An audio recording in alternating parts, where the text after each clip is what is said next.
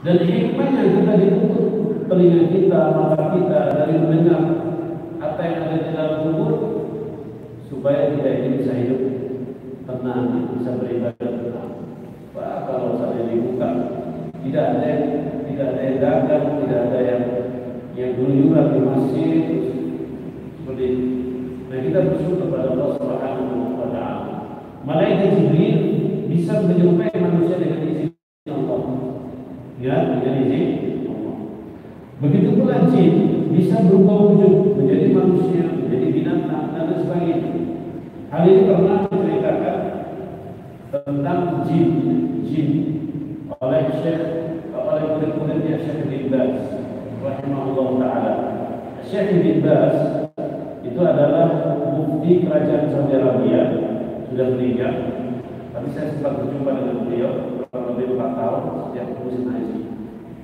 Eh, empat tahun atau tiga tahun lupa saya. Yang jelas setiap musim haji saya saya duduk di majelis beliau di Masjid Al Aziziyah. Jadi kalau aku naik haji ada Masjid Al Aziziyah, Masjid Bibas, itu beliau yang.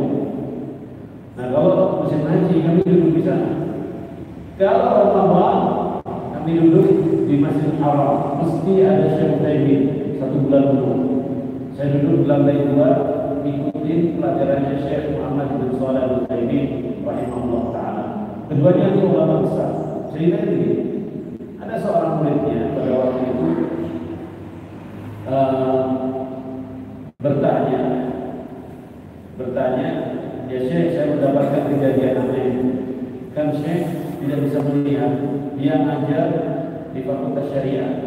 Itu lokalnya kalau beliau ngajar itu banyak sekali panjang. Suatu ketika kami melihat seorang mahasiswa yang tidak pernah kami kenal pakai sorban. Kemudian ketika ada pintu itu tendang angin, tiba-tiba tangan mahasiswa ini jadi panjang betul. Nah,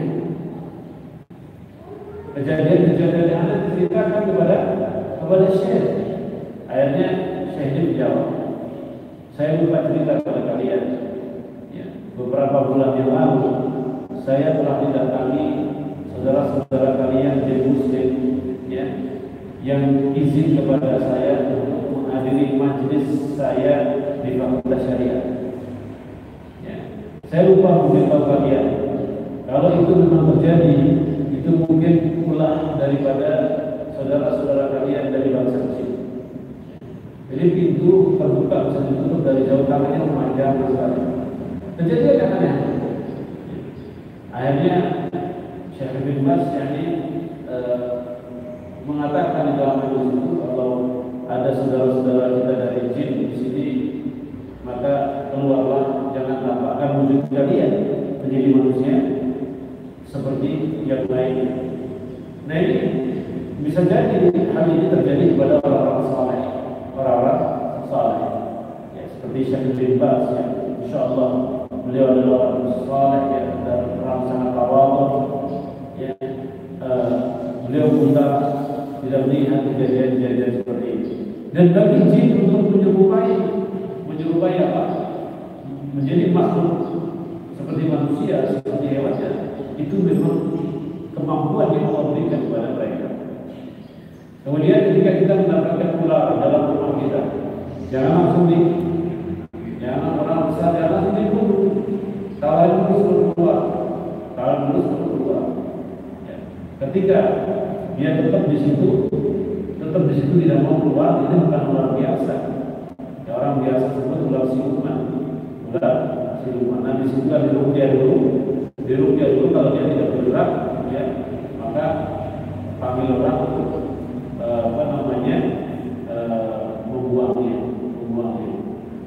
Dan ini kejadian seperti ini kadang-kadang terjadi di tengah kota besar, tapi rumahnya ada ularnya, rumahnya di, di, di, di dijadikan sarang ular. Nah ini mungkin mesti dirukyah dulu rumah itu, kemudian panggil para orang pulang untuk memindahkannya. Hal-hal yang seperti ini adalah hal yang yang kadang orang percaya, kadang orang tidak tidak percaya. Tapi mereka ini jin, malaikat dan jin itu memiliki kekuatan yang tidak dimiliki oleh